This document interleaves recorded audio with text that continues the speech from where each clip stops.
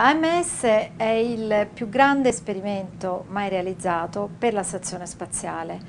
È un esperimento che vede eh, in prima linea l'INFN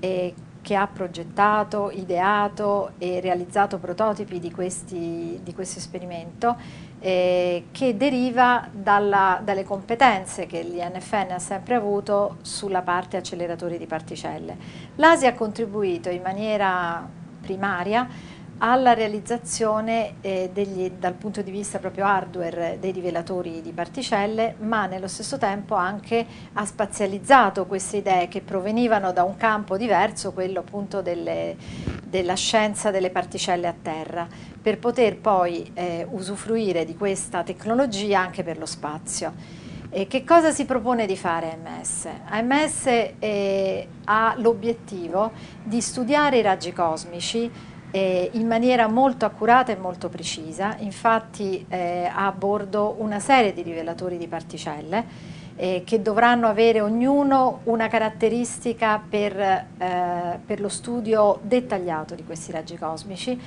E l'obiettivo finale è che attraverso lo studio dei raggi cosmici possiamo avere informazioni su quelli che sono i due, due, campi più affascinanti in questo momento della scienza spaziale, lo studio della materia oscura e lo studio dell'antimateria.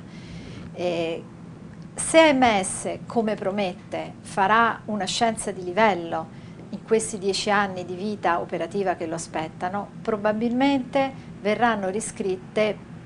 nuove pagine dell'astrofisica e della, della scienza dell'universo e verranno esplorati dei campi che fino ad ora non erano nemmeno immaginabili.